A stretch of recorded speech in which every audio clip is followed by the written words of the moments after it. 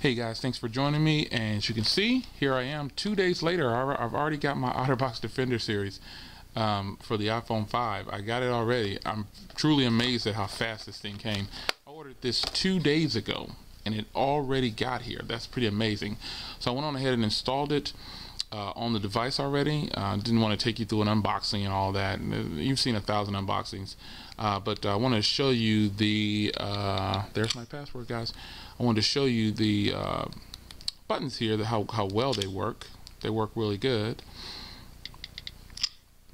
Um, the volume, everything works really good. You see there, tactile feedback is, is really nice. Um, all the ports here are, are secure, they're covered. Everything's covered. One thing I don't like already about this is the button. I'm used to hearing a little click, and with this, there is nothing. It's just silence. So, but anything, anyway, that's that's nothing major, but just kind of used to that. So here is the clip, which you can use as a stand to watch movies or whatever you want to do. There we go. Watch movies, TV, whatever you're doing, crackle. Uh, you, to release it, you just press the little button there. So you press down, and it locks in place. To release it, you just press down it like that. And it's also a belt clip, really.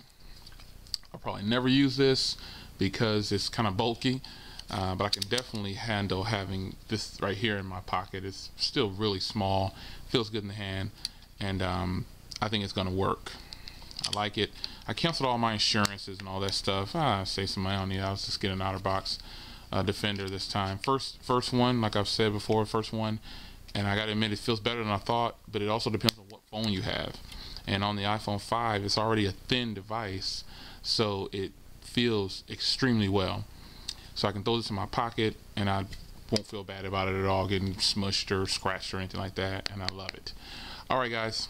I'll see you in the next video. Thanks for looking on. And there's the OtterBox Defender series for the iPhone 5 and the gray and white. See you later guys